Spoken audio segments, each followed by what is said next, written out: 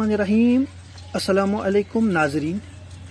یہ مزار انوری ہے جہاں پر وقت کے معناز جلیل القدر اور عظیم المرتبت محدث فقیح مجتہد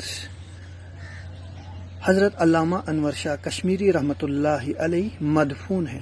اور یہیں پر آپ کے دو عظیم فرزند سید اظہر شاہ کیسر رحمۃ اللہ علیہ اور مولانا انظر شاہ کشمیری رحمۃ اللہ علیہ، جو ایک عظیم المرتبت محدث، محقق اور مقرر گزرے ہیں۔ شہر دیوبند کی عیدگاہ کے ساتھ وقف دارالعلوم دیوبند کی طرف جانے والے راستے میں یہ قبرستان آتا ہے۔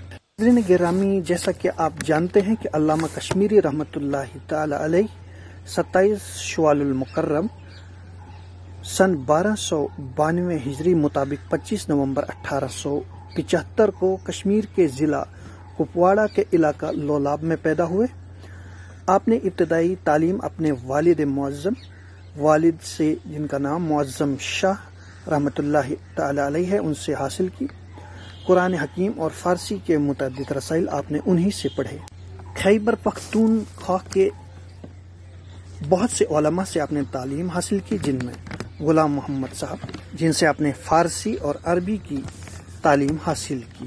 اٹھارہ سو نوے عیسوی میں آپ دارالعلوم دیوبند تشریف لائے اور چار سال یہاں رہ کر کر اٹھارہ سو چورانوے میں آپ نے سند فراغت حاصل کی۔ آپ کے مشہور اساتذہ میں مولانا محمود حسن دیوبندی، مولانا خلیل احمد سہارنپوری، مولانا اسحاق امرتسری اور مولانا غلام رسول ہزاروی مشہور محدثین سے آپ نے تعلیم حاصل کی۔ فراغت کے بعد مدرسہ امینیہ تشریف لے گئے اور اس کے بعد کشمیر آ کر فیض عام مدرسے کی بنیاد رکھی۔ بعد میں آپ دارالعلوم دیوبند تشریف لائے۔ انیس سو ستائیس تک صدر مدرس کی حیثیت سے خدمات انجام دیتے رہے۔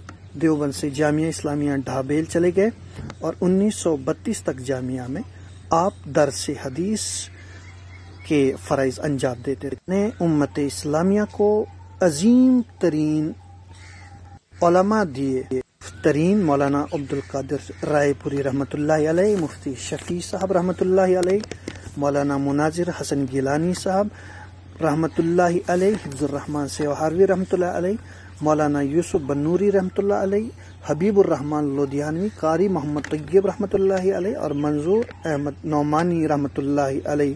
جیسے اشخاص۔ آپ نے بہت ساری کتابیں لکھی، بالخصوص ان میں عقیدہ فی حیات عیسیٰ علیہ صلاۃ وسلام التصریح بیما توتر فی نزول المسیح، فصل خطاب وغیرہ مشہور ہیں۔ تحریک خط میں نبوت کے لیے آپ ایک عظیم سپاہی کی طرح اپنی عمر کے آخری حصے تک لڑتے رہے۔ فروری انیس سو تینتیس میں ساٹھ سال کی عمر میں آپ کا وصال ہوا اور آپ کو دیوبند میں ہی دفن کیا گیا۔ آپ بہت ہی ذہین ترین انسان تھے۔ کہا جاتا ہے کہ آپ اگر ایک بار کسی کتاب کو دیکھتے تو وہ تا عمر آپ کو ازبر ہو جاتی تھی۔ اسی لیے آپ کو ایک چلتا پھرتا کتب خانہ بھی کہا جاتا تھا۔ یہاں پر آپ کے خاندان کے دیگر افراد بھی دفن ہیں۔